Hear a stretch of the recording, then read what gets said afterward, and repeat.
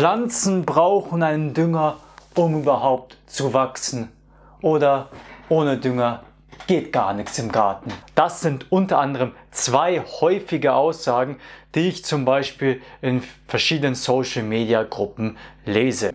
Und auch von manchen Menschen hier bei mir im Dorf. Ich kann mich auch noch sehr gut an die Dame erinnern, wo ich meinen Kartoffelturm machen wollte.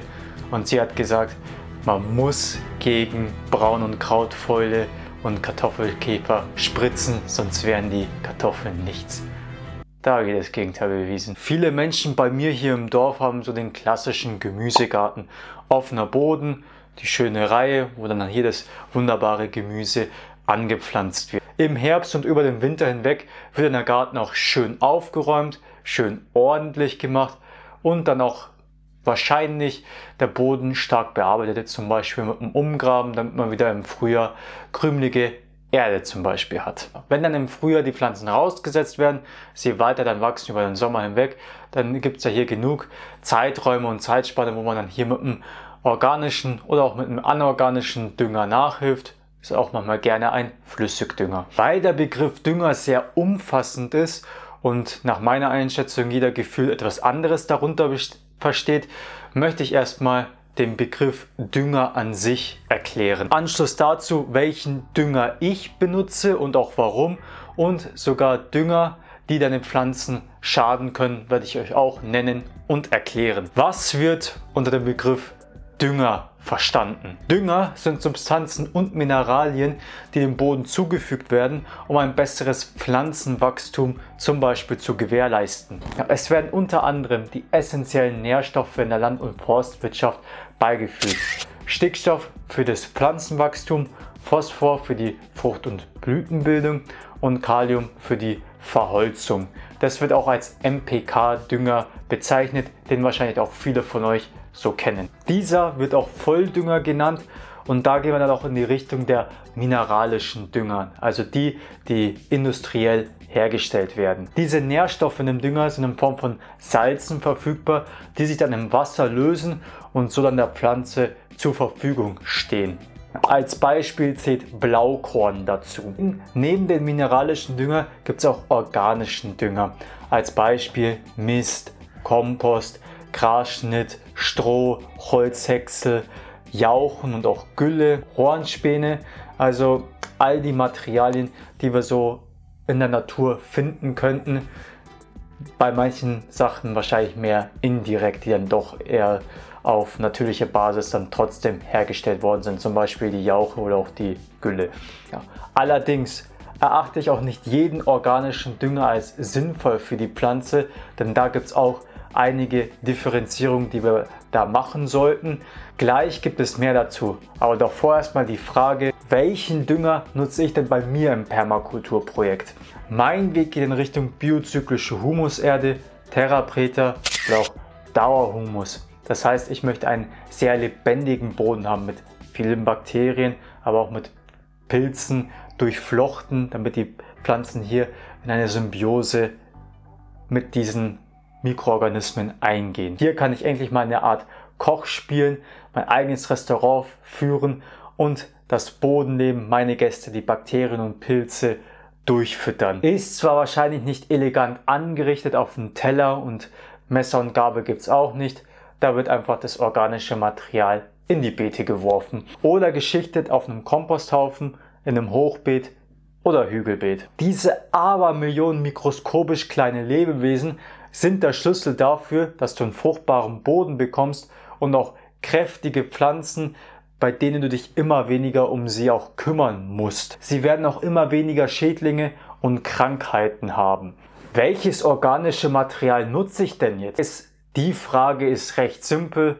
So ziemlich alles, was anfällt. Grasschnitt, unter anderem habe ich mich da mit meinen Nachbarn abgesprochen, dass sie mir auch was von ihrem abgeben dürfen. Fein und grob. Stroh, Heu, ein bisschen Mist ist da auch immer mit dabei.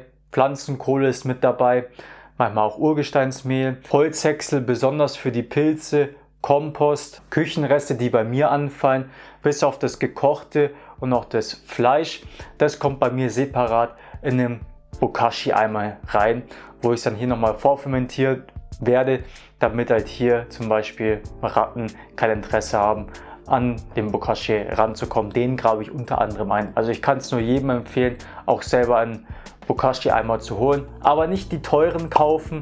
Da gibt es auch ganz billigere Varianten, wo du die einmal auch kostenlos bekommst und auch ein viel größeres Volumen. Hab mal ein Video dazu gemacht, findest du auch unten in der Videobeschreibung. Spar einfach Geld, brauchst keine überteuerten Eimer kaufen. Dieses organische Material nehme ich dann und mulche damit meine Pflanzen. Ich möchte einfach das Leben, die Pilze und die Bakterien vor Ort haben, damit die Pflanzen hier gleich in eine Symbiose gehen. Deshalb bin ich nicht ganz so der Fan davon, wenn man einen Komposthaufen anlegt und den zum Beispiel nicht bepflanzt. Da kann man wunderbar Kürbisse, Melonen, auch reinsetzen. Zucchini geht auch. Einfach diesen Haufen mit bepflanzen, damit man auch hier einen Nutzen davon hat. Deshalb finde ich auch Hochbeete und Hügelbeete sehr wertvoll.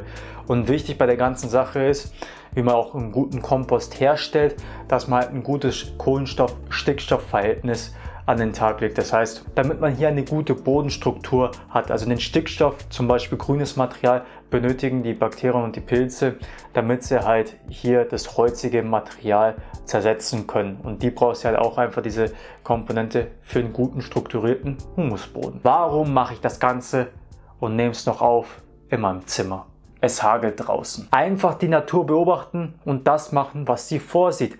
Der Boden ist bedeckt. Die Feuchtigkeit wird auch viel besser gespeichert, was ein großer Vorteil ist in unseren teilweise starken Dürresommer. Und der natürliche Kreislauf von dem organischen Material wird geschlossen. Wir haben ein sehr großes Problem, dass wir hier sehr viel wertvolle organische Ressourcen einfach irgendwo hingeben.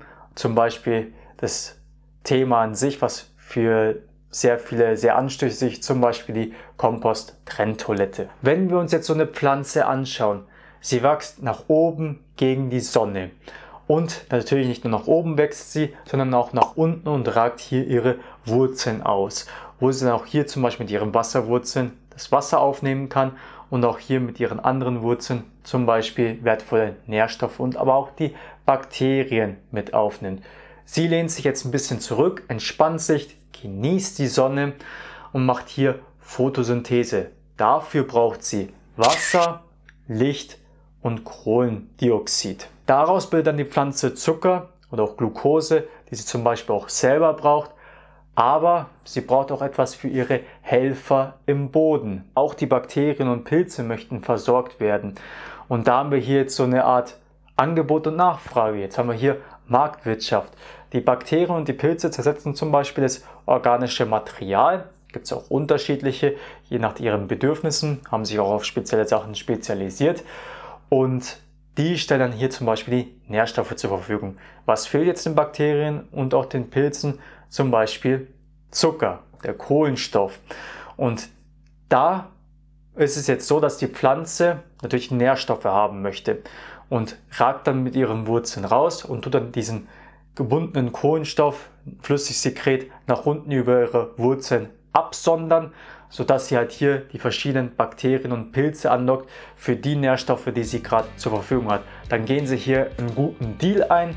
Das heißt, die Bakterien und die Pilze gehen mit ihr eine Symbiose ein, einen Handel sozusagen und geben dann ihr zum Beispiel die Nährstoffe und dafür bekommen sie dann diesen Zucker. Das ist jetzt grob gesagt der Mechanismus, wo der Kohlenstoff im Boden gebunden wird. Die Bakterien zum Beispiel dringen auch etwas in die Wurzeln der Pflanzen ein und liefern dann dort die Nährstoffe ab. Und wenn diese Arbeit erledigt ist, dann gibt es auch einige, die trennen sich dann wieder von dem Organismus, gehen wieder raus und das gleiche Spiel beginnt wieder von neuem. Die Pflanzen, die Bakterien und die Pilze sind richtig gute Freunde und wir können uns natürlich auch mit anschließen, indem wir zum Beispiel unserem Garten die Bakterien und Pilze eine Grundlage geben und sie halt füttern. Und das halt mit dem organischen Material, damit auch die einen Grund haben, bei uns im Boden zu sein.